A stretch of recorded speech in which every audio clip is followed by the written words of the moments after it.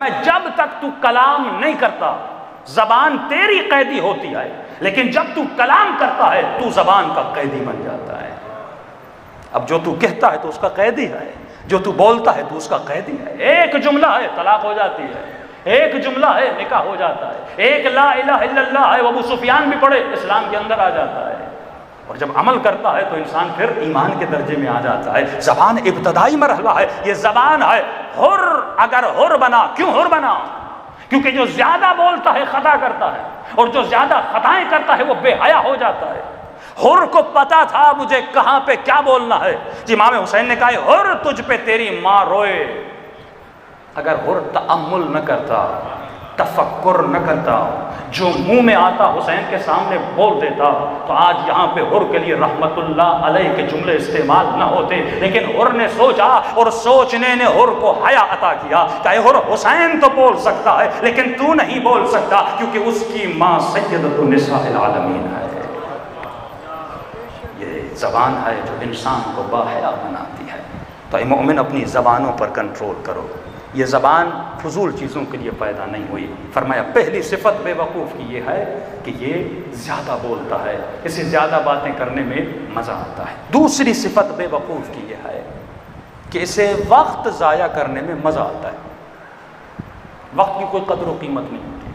फजूल चीज़ों में वक्त ज़ाया करता है। ए जवान इंटरटेनमेंट के लिए दस मिनट अगर कोई गेम खेलता है तो चलो, इंसान रिफ़्रेश हो जाता है। लेकिन घंटों घंटों खेलना अपना वक्त ज़ाया करना तुझे नमाज़ तहजद के लिए पंद्रह मिनट नहीं, लेकिन तुझे डिजिटल गेम खेलने के लिए दो दो घंटे हैं। तुझे क्रिकेट देखने के लिए इतने घंटे हैं, लेकिन जिस तरह क्रिकेट देखने से तुम्हारे वजूद में नेशनलिज्म बढ़ता है, इसी तरह नमाज़ तहजद पढ़ने से तुम्हारे वजूद में वहदानियत बढ़ती है। अली का ज़िक्र करने से जिस चीज़ को ज़्यादा देखोगे, वो चीज़ तुम्हारे अंदर आएगी। जो चीज़ ज़्यादा करोगे, भाई, गोश्त ज़्यादा खाओगे, मोटे हो जाओगे। गंदी चीज़ें ज़्यादा खाओगे जिसम गंदा हो जाएगा। इसी तरह जो चीज़ तुम अंदर डालते हो, ये जो चीज़ें अंदर डालो या या मादी चीज़ें आए, या रूहानी चीज़ें आए, ज़िक्र खुदा रूहानी है। गजा ए अकल ज़िक्र परवरदिगार आलम है। उसको जिक्रन कसीरा, ज़्यादा से ज़्यादा अल्लाह का ज़िक्र किया करो, क्योंकि ज़िक्र करोगे तो शैतान से दूर हो जाओगे। कल मैंने कहा था, दो हालतों से बंदा खाली नहीं है, या वो जाकिर है, या वो गाफिल है। अगर गफलत में रहोगे तो करीन शैतान रहोगे, लेकिन अगर ज़िक्र खुदा में रहोगे तो करीन हुसैन बन अली रहोगे। सलवात पढ़े मोहम्मद वाला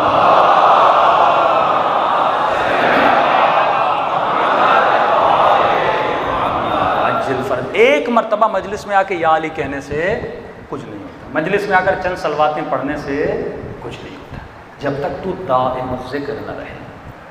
गाड़ी में बैठे हो, अल्लाह का ज़िक्र करो। क्यों खुदा ने कहा, इतना इमाम हुसैन को याद करो? बच्चा पैदा हो, खा के हुसैन चखाओ। बंदा मर जाए तो कब्र में उसके माथे पर खा के शफा रखो। कोई भी ईद हो, ज़्यारत इमाम हुसैन पढ़ो यहाँ तक इमाम हुसैन ने कहा है मोमिन, जब भी पानी पियो। जब भी पानी पियो। मुझे हुसैन को सलाम किया।